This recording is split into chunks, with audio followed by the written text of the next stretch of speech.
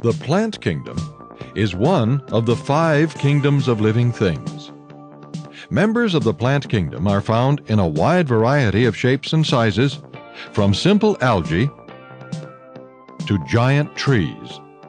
Over 500,000 different kinds of plants have been classified. All animals, including human beings, depend on plants for food. Plants provide many other products that are useful to human beings as well, including cotton, lumber, and paper. All plants have two features in common. The first is that their cells are surrounded by a cell wall made of cellulose, a fibrous carbohydrate that is the most abundant organic compound on Earth. The second feature shared by all plants is that their cells contain chlorophyll, the pigment that makes them green. Even red or brown plants like this seaweed contain chlorophyll.